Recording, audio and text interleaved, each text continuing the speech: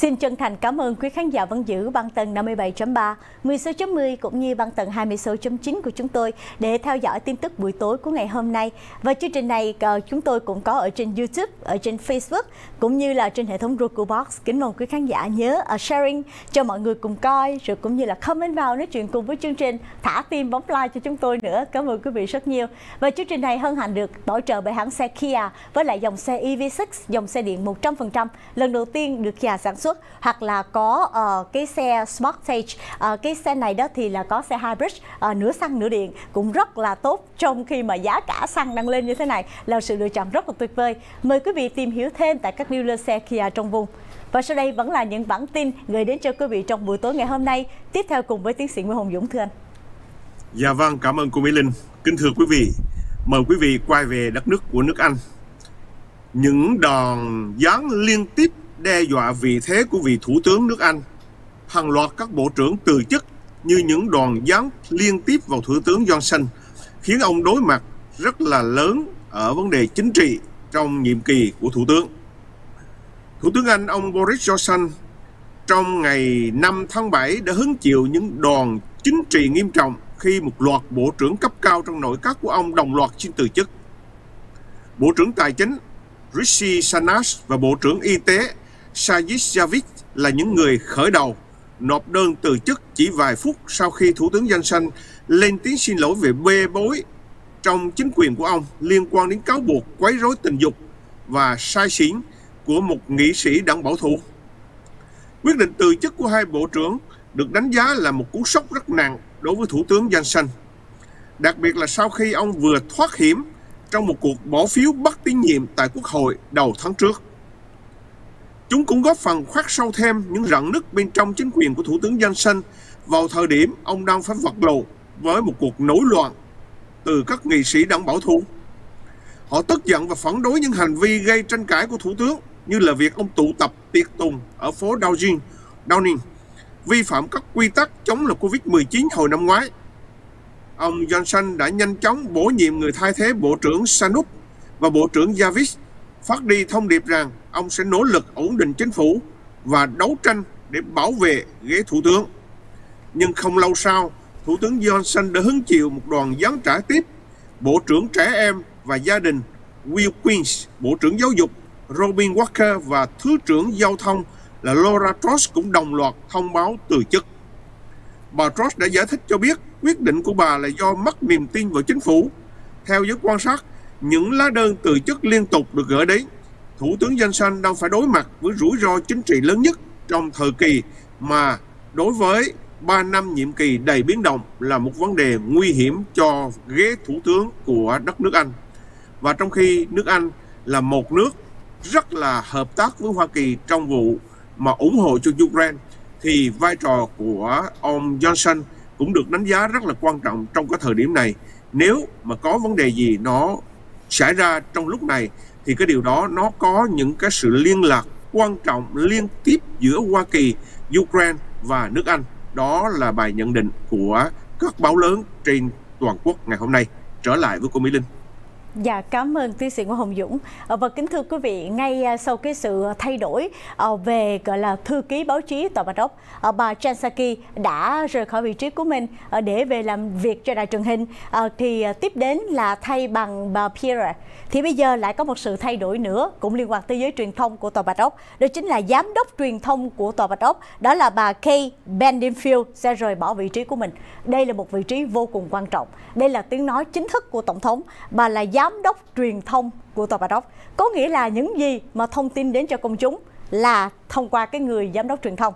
Còn cái thư ký báo chí tòa bà đốc là người à, gọi là à, nắm thông tin làm việc à, như là một cái người gọi là nắm đầy đủ tất cả những thông tin của tòa bà đốc để ra bên ngoài. Nhưng mà tiếng nói phát ngôn nhân chính thức là cái người nói chuyện của tổng thống đưa ra những cái message của tổng thống là giám đốc truyền thông tòa bà đốc thì à, bà Kay Binderfield đã quyết định từ chức. Kính thưa quý vị giờ ngày hôm nay à, bà à, giám đốc truyền thông của tòa bà đốc bà Kay Binderfield đã sẽ rời bỏ vai trò của mình trong những tuần tới trong mùa hè này. Đó là theo lời của chánh văn phòng Tòa Bạch Ốc là ông Ron Klain đã thông báo trong một cái uh, cuộc nói chuyện uh, với giới truyền thông để mà thông báo sự việc này thì ông nói nếu không có tài năng và sự kiên nhẫn của bà Kay Biddlefield thì Donald Trump có thể vẫn còn trong tòa bạch ốc.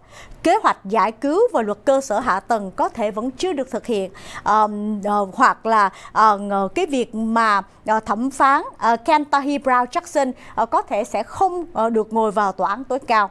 Ờ, và ờ, bà đã đóng một vai trò lớn ờ, trong quá trình mà tổng thống đã đạt được từ nhiệm kỳ phó tổng thống thứ hai thông qua chiến dịch tranh cử và kể từ khi đến với tòa bạch ốc sự nhạy bén của bà trong các chiến lược, sự, gọi là, tận tâm cao độ với các chương trình nghị sự của tổng thống và công việc quyết liệt thay mặt cho tổng thống không có gì là sánh được. Và bà ấy sẽ tiếp tục là một nhân tố quan trọng trong việc chuyển chương trình nghị sự của tổng thống Biden ra bên ngoài, một nguồn nguồn tin quen thuộc với tình hình đã nói với CNN rằng bà sẽ rời khỏi vị trí của mình vào mùa hè này.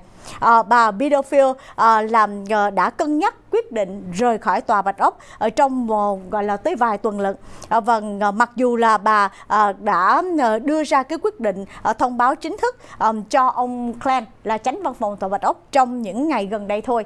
Và Anita Dunn là một trong những cố vấn hàng đầu của tổng thống Biden từ lâu sẽ là một có sự có thể là một cái sự lựa chọn và ờ, chính ờ, uh, Anita Dunn là một cố vấn hàng đầu của Tổng thống Biden cũng cho biết từ rất lâu khi chúng tôi bắt đầu chiến dịch thì bà Kay Bidofield đã là một người bảo vệ Tổng thống một cách quyết liệt và bảo đảm rằng thông điệp của chúng tôi vào năm 2020 về Tòa Bạch Ốc là uh, gọi là tiếng nói chung từ đầu cho đến cuối. Uh, Anita Dunn, một cố vấn hàng đầu của Tổng thống Biden cũng nói thêm sự lãnh đạo của bà sẽ giúp cho chúng tôi hiểu được câu chuyện về cuộc chiến mà Tổng thống Biden à, đang um, gọi là giúp đỡ cho những gia đình lao động của Mỹ. Ờ, cô ấy sẽ luôn là thành viên cốt lõi của gia đình này ngay cả khi cô ấy dành một chút thời gian để có mặt ờ, để mà gọi là giúp đỡ cho gia đình của mình, đặt gia đình của mình lên hàng đầu. Ờ, một người à, nhiều người được coi là có khả năng thay thế cho bà Bidenfield đó là Liz Allen. Liz Allen cũng là một người trung thành lâu năm của Tổng thống Biden à, và cũng từng là người làm việc gọi là ờ, phó giám đốc truyền thông của cựu Tổng thống Barack Obama. Vâng, ờ, khi mà uh, gọi là làm việc ở trong tòa bạch ốc thì có lẽ là cũng quen thuộc cho nên là bà Liz Allen là một sự lựa chọn Ờ, để mà có thể thay thế cho bà Kate. Ờ, nhưng mà ờ, cho đến nay thì cái sự lựa chọn này chưa có được, gọi là chắc chắn. Cho đến khi mà bà rời khỏi cái vị trí của mình tại tòa bạch ốc trong mùa hè này thì có thể là nhân vật nào thay thế thì chúng ta sẽ biết cụ thể hơn. Nhưng mà với cái sự tài năng này của mình thì chắc chắn bà phải được trọng dụng. Mà khi đời được trọng dụng thì không ai gọi, đang ở một vị trí tốt. Và tới giám đốc truyền thông của tòa bạch ốc lận một vị trí đáng mơ ước, một vị trí tốt như vậy, có tiếng nói, có sự ảnh hưởng lại là một người giống như một chiến lược gia ờ, là một người, gọi là, thông báo chính thức cái tiếng nói của tổng thống đến cho mọi người. Mà nếu như mà bà làm việc tốt như vậy mà lại phải rời bỏ vị trí của mình ờ, thì chắc chắn là trong trong nội bộ phải có sự lũng củng tại vì nếu một ai mà tài giỏi như vậy và yêu thích cái vị trí của mình thì không thể nào rời đi một cách dễ dàng như vậy được. Mà trong khi bà đã suy nghĩ thật lâu ờ, và cẩn thận trong suốt vài tuần mới đưa ra quyết định này ờ, thì có lẽ có, sẽ có những xáo trộn không nhỏ trong những cái, gọi là, vị trí quan trọng ở trong chính quyền của tổng thống Biden. Thưa quý vị giờ trở lại với tiến sĩ Nguyễn Hồng Dũng bây giờ cô Mỹ Linh muốn vào cái vai trò đó không? Bởi vì cô thì à, không à, muốn theo ông Biden chứ. Ok, rồi, một bản tin. Nga đã dùng màn khói bảo vệ cầu nối Crimea. Nga đã diễn tập tạo khói mù và triển khai thiết bị phản xạ sóng radar gần cầu Kerch nối liền Crimea, dường như để đối phó nguy cơ bị tập kích. Chuyên gia quân sự là Sutton thuộc Viện Hải quân của Hoa Kỳ hôm mùng 4 tháng 7 đã đăng ảnh do vệ tinh thương mại chụp cầu Kerch đã nối bán đảo Crimea với lãnh thổ của Nga, cho thấy hai xà lan được kéo từ căn cứ hải quân Novorossiysk đến sát cây cầu. Hai xà lan được lắp hàng loạt bộ phản xạ tín hiệu radar, thường được dùng làm mục tiêu bám bắt trong các cuộc diễn tập bắn đạn thật của hạm đội Biển Đen Hải quân Nga. Thiết bị này có thể làm chạy hướng tín hiệu radar của các loại vũ khí được dùng để tập kích cây cầu. Ngày mùng 3 tháng 7 cũng cho thấy màu khói trắng dày đặc phủ kín cây cầu, che chắn các mục tiêu khỏi cảm biến hiện đại của máy bay và vệ tinh, cũng như là vô hiệu hóa hệ thống chiếu xạ laser thường dùng trong vũ khí chính xác. Đây là những biện pháp bất thường cho thấy Nga đang ứng biến, không có biện pháp phòng thủ nào được coi là tiêu chuẩn. Quân đội của các nước luôn tìm mọi cách để giảm tối đa nguy cơ trong thời chiến. Sutton nhận xét, theo chuyên gia này, xà lan, mục tiêu không được thiết kế để bảo vệ công trình hạ tầng, nhưng có thể phát huy những hiệu quả của Ukraine tấn công cầu Kerch bằng tên lửa Harpoon. Đây dường như là một phần nỗ lực gây khó khăn cho thiết bị trinh sát và vũ khí dẫn bắn bằng radar bảo vệ cây cầu dài nhất châu Âu khỏi những cuộc tập kích của Ukraine. Quân đội Nga cũng đang tăng cường lực lượng phòng không và tác chiến điện tử trên bán đảo Crimea, khu vực vốn sở hữu lưới phòng thủ đa tầng. Kính thưa quý vị, cho đến ngày hôm nay, trên 4 tháng rồi thì à, nước Nga đã xâm lược Ukraine và tình trạng của nước Nga cho đến ngày phút này họ cũng đã tuyên bố rằng họ đã chiếm được Lugan hay Donetsk. Tuy nhiên, người dân cũng như là quân đội của Ukraine cũng rất là hùng tráng và họ đã chuẩn bị cơ giới cũng như là đã nhận được những cái thiết bị quân sự hết sức là tối tân của Hoa Kỳ. Cho nên trong những ngày sắp tới có lẽ tình trạng của Ukraine sẽ thay đổi về bộ mặt chiến thuật và đó là cái điều mà những quân đội cũng như là những uh, quân lực của Ukraine họ đang chuẩn bị trong một cuộc phản công sắp tới. Đó là những điều mà tin tức tình báo đã cho chúng ta biết như vậy. Và kính thưa quý vị, đến đây chúng tôi tạm dừng chương trình tin buổi tối và trở lại với cô Mỹ Linh để chào tạm biệt quý khán thính giả.